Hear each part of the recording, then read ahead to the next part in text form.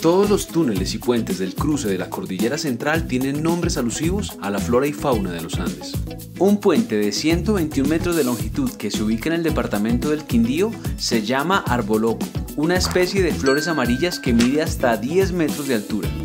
Tener al arboloco es un privilegio, ya que a nivel mundial solo está presente en la cordillera de los Andes. Este crece en alturas que oscilan entre los 1500 y 3000 metros sobre el nivel del mar.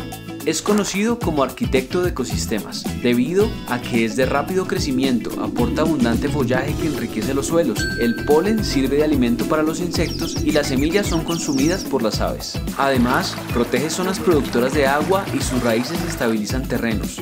Tiene un corazón esponjoso, una médula ubicada en los tallos que le ayuda a absorber agua y a mantenerla para tiempos secos. Cruce de la Cordillera Central, un proyecto responsable con el medio ambiente. La movilidad es de todos. Ministerio de Transporte.